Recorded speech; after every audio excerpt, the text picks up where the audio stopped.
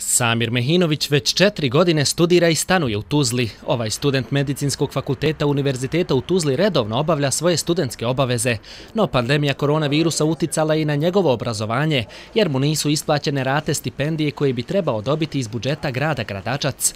Period tokom pandemije studenti su proveli kod kuće te nisu imali troškove za prevoz i smještaj, što im je bila olakšavajuća okolnost. Međutim, evo, nastava je se uveliko vratila, znači studenti se vratili u studentske domove e, i u svoje znači, stanove u Tuzli i znači, obzirom da su mnogi roditelji dobili i otkaze i to sve te stipendije bi nekim studentima jako dobro došle, znači u preživljavanju, tako da kažem, i u ovoj borbi u studentskom životu. Iz gradske uprave Gradačac pak kažu da je trenutno ovakva situacija zbog otežanog priliva novca uslijed pandemije koronavirusa. Isplata će biti, barem tako najavljuje gradonačelnik, sljedeće sedmice, no isplata stipendija nije problem samo u Gradačcu. Mi smo se konzultovali studenti ovako iz svih općina i gradova u Tuzlanskom kantonu gdje niko ništa ne dobija. Stipendije studentima nisu od presudne važnosti, ali im i tekako mnogo znače jer studirati nije nimalo jeftino. Stipendije iznose oko stotinu maraka mjesečno, dok prosječnom tuzlanskom studentu treba mnogo više.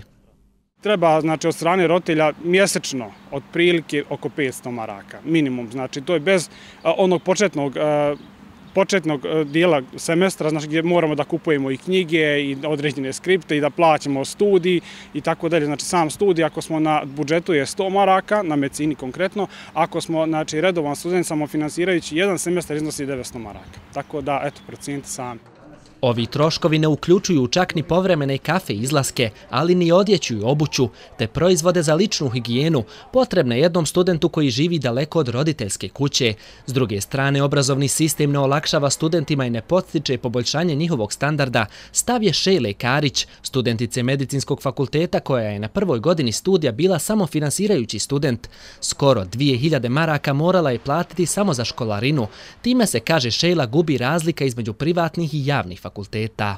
Generalno naš sistem ne dozvoljava mogućnost studiranja i rada istovremeno. Zbog svih obaveza na univerzitetu, predavanja, vježbe, sve je to obavezno, tako da nismo mogućnosti vremenski da e, radimo i zarađujemo neki novac sa strane. Stoga je sav finansijski teret na roditeljima, dok se njihovoj djeci ne olakšava ni najmanje.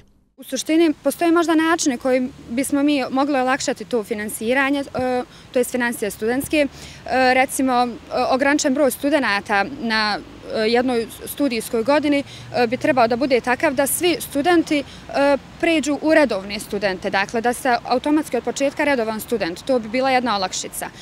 Dalje, možda prijave, ispita, e, uvjerenja, potvrde, mi to još uvijek sve radimo e, onako na pismeni neki način, dok se negdje to svelo na neku elektroniku. Tako da možda bi to bila jedna olakšica u smislu financija za studente. No, ovakve prijedloge uprava univerziteta do sada nije htjela da čuje, a inicijativa i zahtjeva studenta je bilo i prethodnih godina.